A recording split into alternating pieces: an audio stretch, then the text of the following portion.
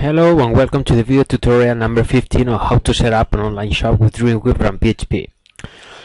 In the previous chapter we finished registering a user. Let's refresh our mind a little. This file was the one that opened us the user register and we just needed to link it from somewhere to create the register. To do it more quickly we will create a quick link here from the left menu if you remember here we have the catalog. I'm gonna remember it here. Here we have the catalog with the different types of shoes we had. So we're going to make a line, link right here below and we will type register. I will I will make a BR before it. There we are. And this will be a link that will take us to the user user register Usually it's created automatically. I save, update, and it already appears here. You have to be aware of the link. Bear in mind I'm modifying a catalog that is within the folder includes, but this catalog will show in a page that that is in the root. So uh, never mind. You will realize of it in a wing. You will see. I try to register and gives me an error because it's taking me to localhost stroke user register. Why? Because with this dot dot stroke it takes me to the previous folder. I don't want to go there. I want to go to the local folder. I save, go back, update, and now when I register it works correctly. Fine. We have the register process clear. So next thing will be the user access. The, the typical user and password you have seen in thousands of pages. It's very easy to do. We will create a new page I usually we copy the index, copy paste, and I will call it access.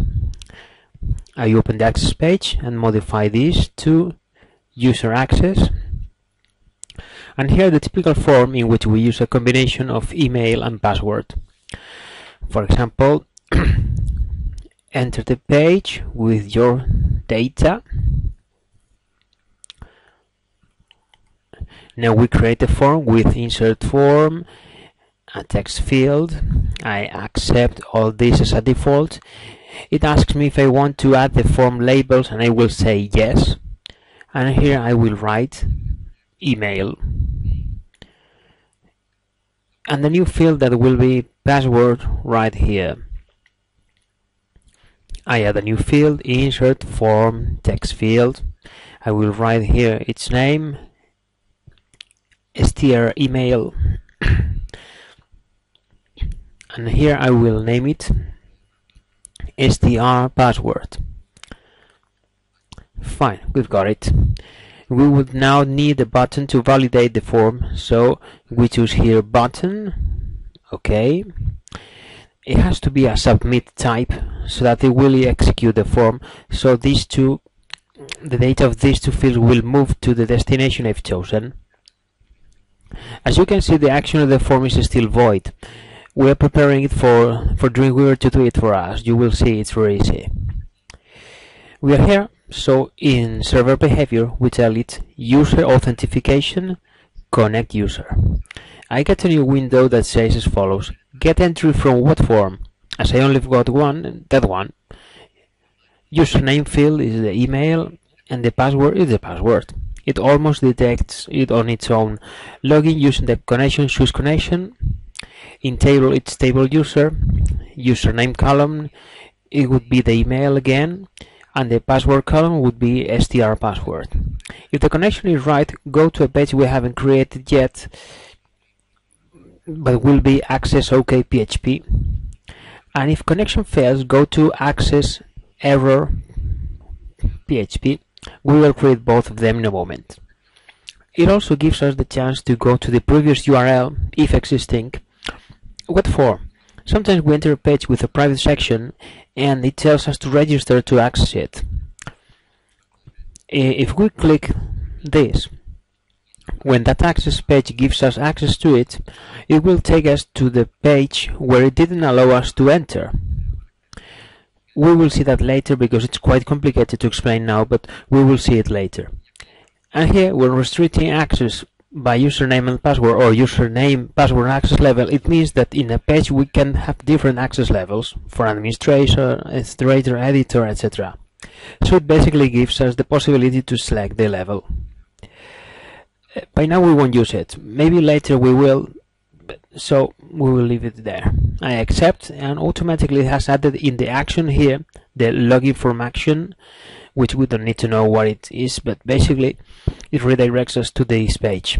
You see it has added some code up here, such a big code. It basically does this. Select me the email and password from the user table where the email is this and the password is this. That login username and that password are these two values here. I don't mean that you understand it all, eh, and I won't analyze the code line by line by line, but it's not the point of this course, but later on we will go more in depth with this all. Next important thing is this piece here, the session start. Okay, why this, and why am I centering so much on this? If you have a look here in this in the code, it says session username equals username and session user group equals login string group. What does this mean? Session variables are very interesting PHP variables that will keep that value as long as the person session in the page is open. That is, when I log in with my password, that username data will be available in all the PHP pages I open, with one condition with the condition that I give it the session start. This is important. If I put session start, it will keep me that data throughout the web. What does this mean? It means that this session start will have to appear in all the pages of my web. Does it mean I have to add it to all of my pages? Well, there are more cunning ways of doing it.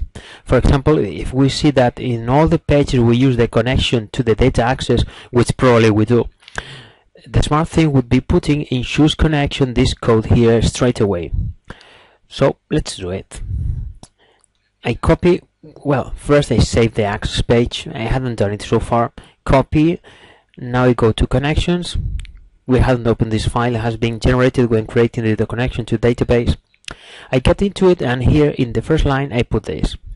It has to be PHP, so I fill it in with the PHP. You see, here it basically tells me if the session isn't selected, it automatically starts with session start, right? Um, as I told you, I don't want to explain too much this type of code because we're moving on the ground of programming and I don't want to scare you. But basically, uh, with doing this almost in every page in which we have use choose connection, it will make us the session start. I save this, and let's see if it already works but first let's make the OK and not OK page we said before as you can see here we have the access OK and access error pages so let's create them once again I take index copy paste and rename it access OK. Now I create another one and it will be access error. As you can see I'm using the template all the time. Using these pages as templates. In access OK we will say here welcome and thank you for logging in or, or whatever you want in access error we'll say we'll say warning. There has been an error in the login process. Let's see. Error in the login process. Try again or recover your password. Here we will make a link to try again. We select this text. We click on link and drag it to access PHP. And we will leave recover your password for later because this implies sending an email and it's a bit more complicated. But basically we have both pages already created. I save this and I'm going to the web. But before in the catalog page where we have written the register thing, I'm going to include a new link with login. This login will take us to Access PHP. I'm going faster here because we have done this many times and I understand you're already managing the thing and don't want to stop in everything or else this will be a never-ending story. I save, I go to the web, I update and it says here login. Okay, what is failing here? Right what I told you before, double dot dash. Dreamweaver is intelligent but not as to know where all of your files are, so we just fix it save, go back, update, and now I will log in with my email and password. I will take whatever to get an error. send and it tells me warning there has been an error in the login process. Try again or recover your password. I will try again with the right password. I think it was triple X. I will try it right. Okay thank you for logging in and now I will be logged in as a user. Let's make a couple of details. For example let's force it so that here we have to write an email and that the password is hidden with asterisk. We already know how to do that. You go to the access page. In email I will use the Spry to mark it as compulsory. And in type I will choose email. We have done this before. And in the field password not only will make it compulsory as well but also I will select it as a password field. Now we save and the work is done so far let's have a look to check everything. I click send and it automatically asks me for values in both fields. If I type anything but an email here it will say this is not a valid format for you to see how it works.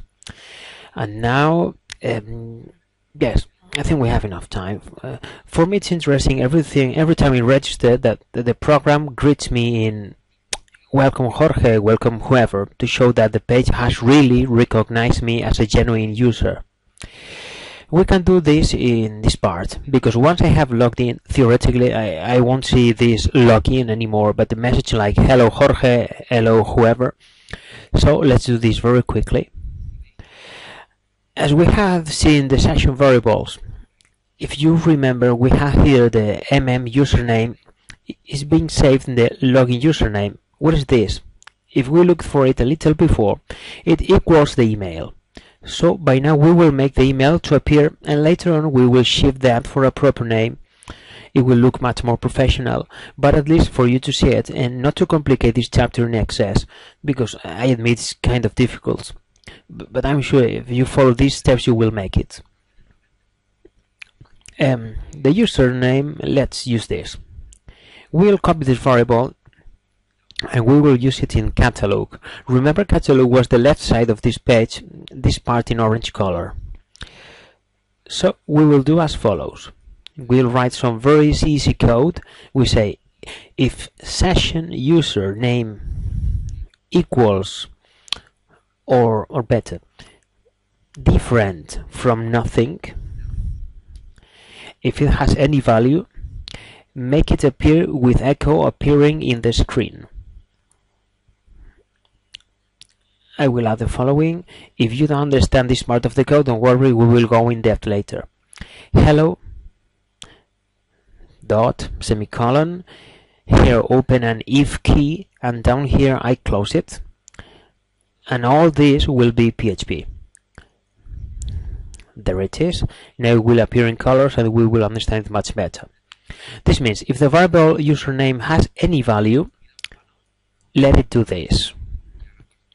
I mean, if its value is other than blank, let it tell me hello plus my email, and if it's a blank value, let it take me to access PHP.